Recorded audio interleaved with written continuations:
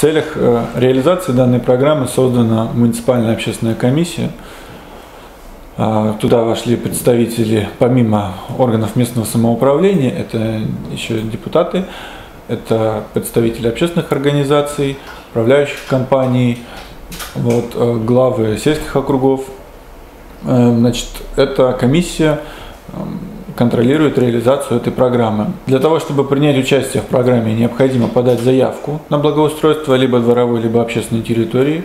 Э, подать ее необходимо в управление жилищно-коммунального хозяйства. Заявка на благоустройство дворовой территории многоквартирного дома – а, подается собственниками многоквартирного дома.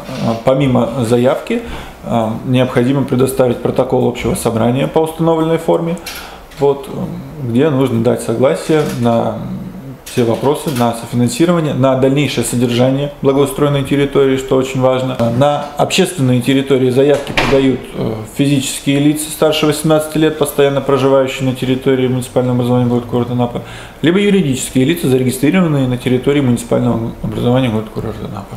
После того, как управлением жилищно-коммунального хозяйства все поступившие заявки будут рассмотрены на предмет в первую очередь, это возможность их выполнения, то есть где-то могут сети мешать, где-то еще что-то.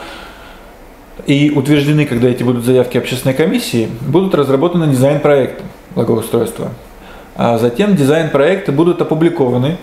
Вот, э, и э, в, сетях, в средствах массовой информации, в сети интернет будут опубликованы. Заявки принимают в управлении ЖКХ по адресу Крымская, 150, кабинет 113. С понедельника по четверг с 9 до 18 часов, в пятницу с 9 до 17 часов. Перерыв с 13 до 13.50. Контактный телефон 8 918 058 83 02.